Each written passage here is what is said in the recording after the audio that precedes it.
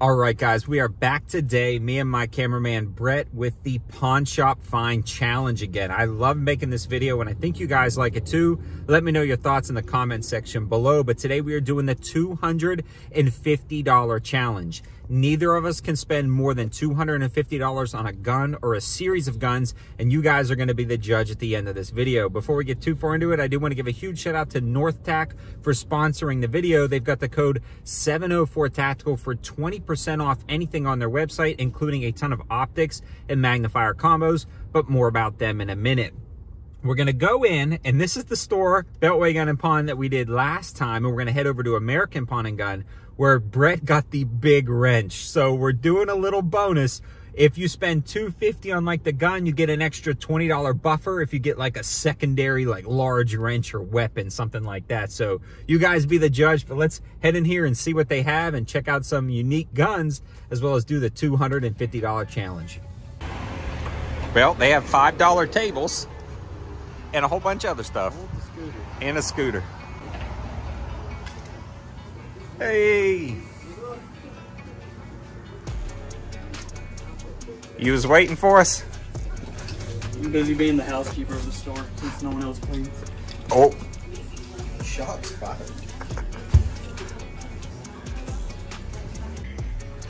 So this one's pretty good right here, but I've already got a ton of these, but this would be well within the price range for the challenge. What you looking at, Brett? I'm not looking at it on purpose. This is horrible. Unless unless you like that. I mean, not not my cup of tea. Yep, you never know when you need a gl glitter Glock. They've got them here. Also, if you tell them that 704 Tactical sent you over to Beltway, you actually get 10% off everything or anything in their shop, including the glitter Glock. These guys also have a ton of surplus rifles in stock and a whole selection of SKSs. So there's some good options in here. There's actually a Bersa Thunder in 380. I've always recommended these and they're always an affordable price. This one seems to be pretty good. This may be an option or a contender, but I already have one. I don't know if I need two of them, but this is always pretty cool.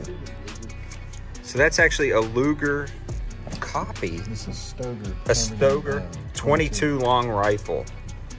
That is really cool. You were looking at that. That's out of the price range. It's out of the price. Range. I'm looking at this for personal reasons. It even toggles up like a real German Luger. That is pretty cool. They also have a ton of 22 pistols in stock. That's just your size. You know, honestly, I think it's perfect, like just pocket carry. They also have an entire selection of collectible Colts that are pretty neat, but again, well out of the price range for today's challenge, but very interesting nonetheless.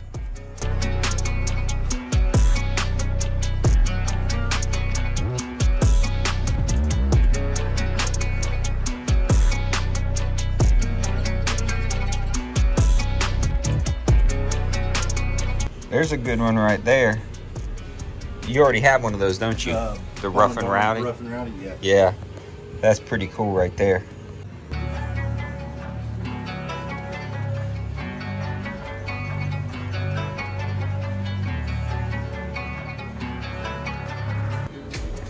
So this is one of the Henry survival rifles where the barrel removes and then fits into the stock. And this one was a pretty good price. So it is in within the, the price range of the challenge. This may be an option today, but this is pretty cool. There are some. Now we are hunting the extras. This is where we found the big wrench last time. Yeah, that's a big pipe wrench. That's pretty good right there. Substantially heavier than the big range. Yeah. There's also a mini sc- mini scooter that's very enticing. Um, every time we say we're not going to adapt the challenge, but there may be exceptions for mini scooters. I, I don't think it has to be a part of the challenge. We I could think- just I think get- it's just you know. Get a mini scooter. Yeah, we, And they also have this guy right here, which is pretty cool. I don't know if this falls within the $250 challenge, but it is pretty darn neat. So Brett saw this, which looks pretty cool, a little black powder pepper box. Looks like it's never been fired. That is pretty cool, and that falls within the challenge price. So this is pretty cool as well. It's the 45 410 version of the Bond Arms Derringer. So this one actually takes 410 shotgun shells and um, 45 long Colt, and this is within the price range as well. So this may be a contender. Oh, price. Yes, sir. We Brett is trying to get a good deal on this thing. We need to know to see if it's going to fit into the challenge. You want to hold it first before I go look and see what we can do on it?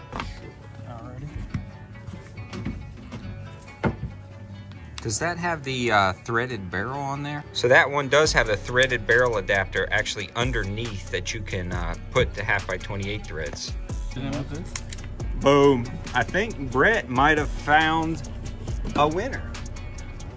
So we found a lot of good stuff in there, but we've got to check out American Pawn and Gun because we were going down there. So they've got the scooter, right? They've got some choppers, the little different uh, sword things. They've got the Walther, which they're going to drop down to our budget. So that's Yeah, a really that's good awesome. option. They've got the Henry and they've got the Derringer. So a ton of good options Mm-hmm. here. But we're gonna check out American, and no matter what, we're gonna swing by on the way back to at least try the scooter while they charge it up. All right, just pulled up to American Pawn and Gun in Monroe, North Carolina. We're gonna go in there and uh, see what they got. Should be pretty good. Let's see what they got. Greg. Mima. Mima's here. Good. These guys have a ton of stuff and they just put out some new stuff this week. So we're gonna dig through. I'm always coming in here and looking around, but I think he did just put out a ton of new things. Is that a Lite Rack 22 with a red trigger? Yeah. Um, snap. So that's aftermarket. I, I love my LCP 22, but I've never seen one with that trigger. Do you know how many mags this comes with? Uh, I believe one. One mag? Okay, this just became like top of the list contender for me. Um, so that is pretty awesome. I'm gonna play with that trigger a little bit and see uh, what this one. So we are putting that to the side to think about, and we are digging through some more stuff. This one is uh, way, way out of the price range, but this is the SL86 HK. This is pretty darn cool. It takes the proprietary HK mag, um, but this is a very interesting one, that's for sure. Might be cool to get out to the range, but definitely out of today's budget, but just wanted to show you guys. Brett found them another baby blaster. that is the craziest. Do your fingers even fit in there? No. It's like a toy. Is that chambered in 22? A single shot 22. Cricket precision. Heck yeah. There you go. I'm thinking a thousand yards easy with it. Easy. But it's actually got a decent trigger on it. A 40 cal Astra. Definitely in the budget today. Yeah. You never know what you'll find at a pawn shop. You know, there's always something different and unique there. So Greg had this one right here, a Hi-Point in 45 ACP. Now I have one of these, but I don't have one with the threaded barrel, and I've always wanted one because that 45 ACP round just shoots subsonic standard out of the box. So this is definitely a contender. There are so many options today for this $250 challenge. I may I may have to do the 250 challenge twice and cheat, but we'll keep them as independent things that you guys can vote on down below. But um, this one is definitely on the list to think about. All right, Gray's gonna go work me the deal of a lifetime. That's what I'm saying. Mima, you think I'm gonna get a deal? Mima doesn't think so. All right, I think the first purchases have been made. I think we're going to grab these. He's going to look at a couple of things I brought in for trade, and then we'll touch base with you guys after that. But I am pretty pumped about these selections, and I think I'm not doing too shabby. So we worked out a trade. We got everything squared away. I'm definitely going to win this, but Brett has to go back and grab um, Scooter. the scooter. Yeah. go try to make an offer on the scooter. So while Greg is doing the paperwork, I was looking at some watches. There's a nice Seiko right there. I've got a Tissot or however you pronounce it. He's got some pretty cool stuff in here to check out. Greg also has one of the lever action Henry 410s. I know those were hard to find, definitely out of the price range today, but that was an interesting find as well that we saw. All right, so we got some stuff and now on to the back to Beltway to check out to see if that scooter's charged up and uh, see if Brett grabs something to compete with me. But American uh, got me all hooked up with the good stuff. We are back to make things happen, grab some stuff, maybe try the scooter, and then we'll head back to the range and actually shoot some of this stuff and have you guys vote on who won. There you go.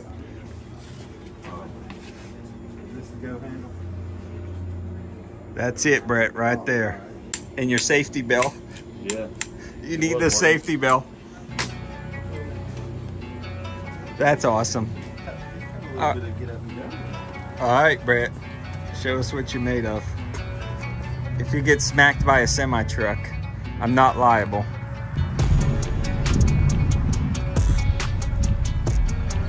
Go, Brett.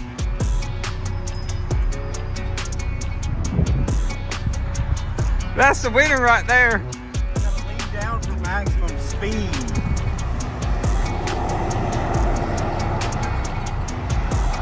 That's hilarious.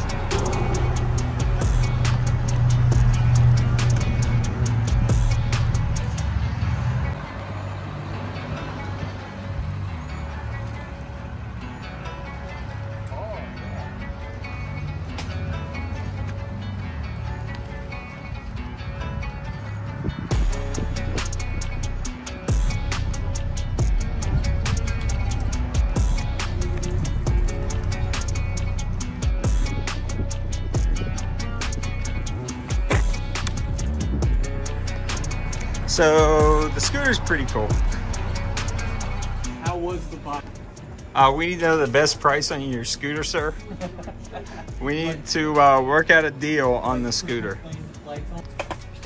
Brett is pondering the scooter, but grabbing the Walther that we looked at earlier that they made him a deal on. So uh, after that, we'll head back to the range, maybe with or without a scooter, but uh, who knows? Who knows?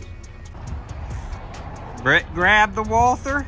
Now we're heading back to the range to do some blasting. So we are down at the range ready to blast the guns we have. And for a recap, I actually got both of these for 200 each from American Pawn and Gun. So we're just going to do them as independent challenges. We always break the rules a little bit with these challenges. So this is the first $250 challenge and we were under it by 50 bucks. So a Hi-Point chambered in 45 ACP with one red ball mag with a little surface rust right there. Overall though, the gun's in fairly good shape and it's got the threaded barrel, which we'll be doing more videos about. So there's that one for 200. This one was mine. This was the LCP2 Lite Rack. So this is a pretty cool gun that I already have one of, and I've really fallen in love with it, but somebody swapped out the trigger and it was a good price. This was 200 bucks and it came with the original trigger, the pocket holster and everything there. And then Brett grabbed the Walther P22, which I've always been interested in this gun, so it would be really cool to try it out. Such a cool little gun, but he was 250 so you can start voting in the comment section below who won. Uh, Brian won, me 704 Tactical Hi-Point, Brian 704 Tactical Ruger, or the Walther, but let's get to shooting and start blasting stuff.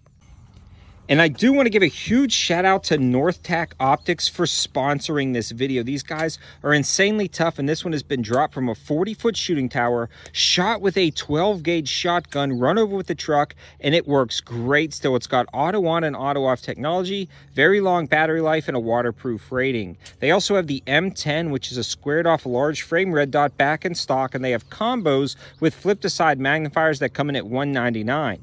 After my discount code 704TACTICAL for for 20% off, you can actually get some of those combos for as low as 160 and that code is valid on everything on their website. So a huge shout out to North for sponsoring this video. All the information and linking will be in the description below.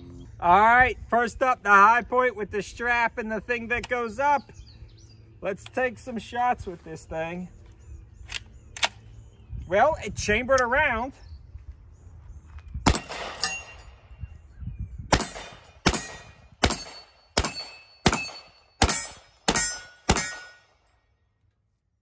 pretty cool. So it actually runs. It's not that bad with recoil. It's got the threaded barrel 45 ACP, $200. You could throw a little red dot on top of there. That's a pretty good pawn shop find. So I'm really liking this, but now for my uh, little LCP2 Lite Rack. All right, so here's a little LCP2 Lite Rack with the uh, custom trigger. Let's see if it even fires.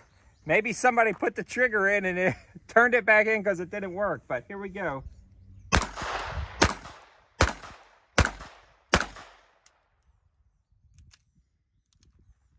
Oh, we got an issue. So I've had some issues with this ammo with light primer strikes in the past. I'm going to try to find some more in my truck. But first up, the same ammo and Brett's Walther. Maybe it'll be more reliable than this guy right here.